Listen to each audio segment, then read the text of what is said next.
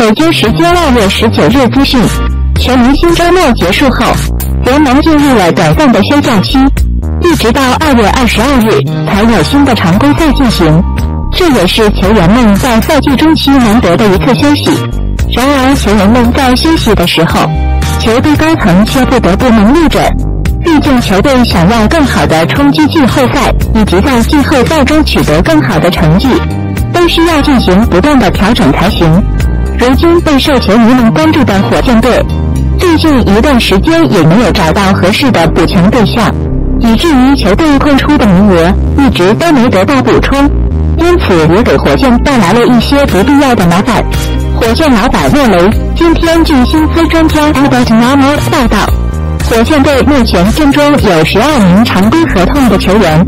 与规定的十四人还差两人。球队需要在二月二十二日再签两名球员。Albert Namo 表示，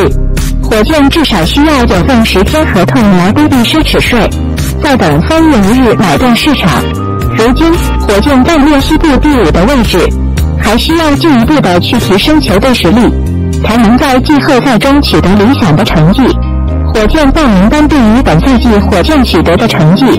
球队老板费尔蒂坦似乎并不满意。今天早上接受采访的时候，谈到了球队下班赛程的目标时，表示：“我们去年有过一次夺产之旅，我们还想再来一次。我们每晚都要做好准备，努力打球。卡佩拉快回归了，我们非常兴奋。接下来二十五场比赛会告诉我们很多。我们今年想获得五十胜，所以我们接下来至少要打出十七胜八负的战绩。”我们想争取前三的位置，然而就火箭本赛季而言，想要打出西部前三的水准还是有些困难的，尤其都依靠哈登超神级别的发挥才能保证胜利的前提下。哈登众所周知，火箭队想要在本赛季结束前在买断市场中寻找机会，相信火箭引援大名单上已经出现了很多球员的名单，虽然还没有进一步的结果。但莫雷一定在努力着。不过，在二月二十二日之前，火箭队必须要保证至少用一份十天短合同来规避奢侈税，这样白白浪费的金钱还是留着比较好。